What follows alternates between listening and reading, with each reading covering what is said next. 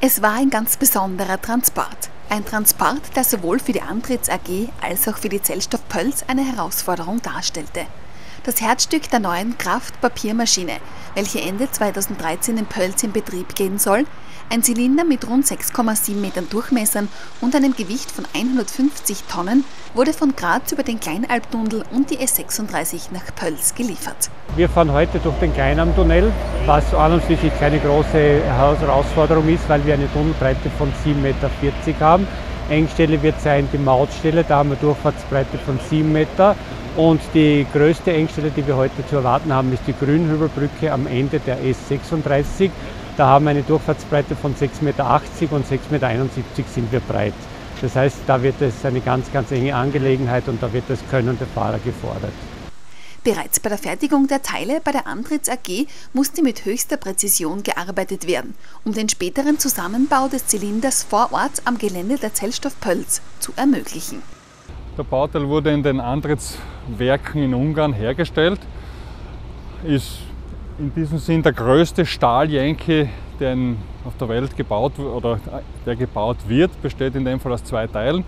Einen Durchmesser von 6,70 Meter, haben eine Bahnlänge von knapp 6,5 Meter. Nicht nur für die Pölz, sondern für die gesamte Region ist diese Investition mit einer Summe von 115 Millionen Euro von enormer Wichtigkeit. Ja, für uns geht natürlich das Wachstum des Standortes über alles. Das ist das Wichtigste, um bestehende Arbeitsplätze absichern zu können und auch neue zu schaffen, was wir mit dem Projekt tun. Und das Zweite ist, dass wir einfach die Integration äh, nutzen wollen. Das heißt, also wir haben den Zellstoff selbst im Haus, wir haben die Energie im Haus, wir haben Strom, Dampf sozusagen, das ja ganz wichtig ist für den Betrieb einer Papiermaschine. Und das sozusagen führt dazu, dass wir also diese Synergien einfach nutzen wollen. Und deswegen investieren wir. Die Arbeiten am Zylinder werden jetzt einige Wochen und Monate dauern. Wie geht es dann weiter? Ja, also jetzt äh, werden diese zwei Teile, die angeliefert wurden, zu einem Ganzen zusammengeschweißt. Das ist wie gesagt ein sehr präzisionsintensiver, hochtechnischer Vorgang und da werden wir jetzt ungefähr zwei Monate dafür brauchen. Dann wird Ende Mai, Anfang Juni dieser Zylinder in die Maschine hineingehoben, die in der Zwischenzeit sozusagen schon zum Großteil errichtet sein wird und bekommt dann sozusagen noch einmal eine Schicht, die aufgetragen wird und diese wird dann noch einmal nachbearbeitet. Also das wird teilweise sogar händisch nachgeschliffen und da geht es, wie gesagt, um Hundertstel Millimeter und das ist also ganz entscheidend und das ist der nächste große Schritt für uns.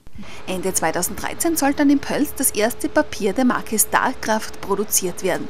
Doch was macht denn dieses Papier so besonders? Na, das Besondere heißt also Kraftpapier. Das ist also alles, was mit Verpackung zu tun hat. Beginnt bei Einkaufstaschen, so wie man sie kennt von Kaufhäusern äh, oder auch vom Bäcker, Brot- und, und äh, Semmelbeutel sozusagen, bis hin zu Zuckersäcken, Mehlsäcken. Also es geht darum, dass das Papier einfach eine hohe Reißfestigkeit braucht, bei doch äh, parallel einer Luftdurchlässigkeit, weil diese Säcke werden mit hohem Druck in hoher Geschwindigkeit gefüllt und dürfen da nicht zerreißen. Und das ist eben ein Spezifikum unseres Zellstoffes, den wir hier produzieren, dass der diese Qualität sozusagen mitbringt, um ein solches Papier überhaupt produzieren zu können. Eine wichtige Investition in die Erhaltung und Sicherung des Standortes der Zellstoff Pölz AG.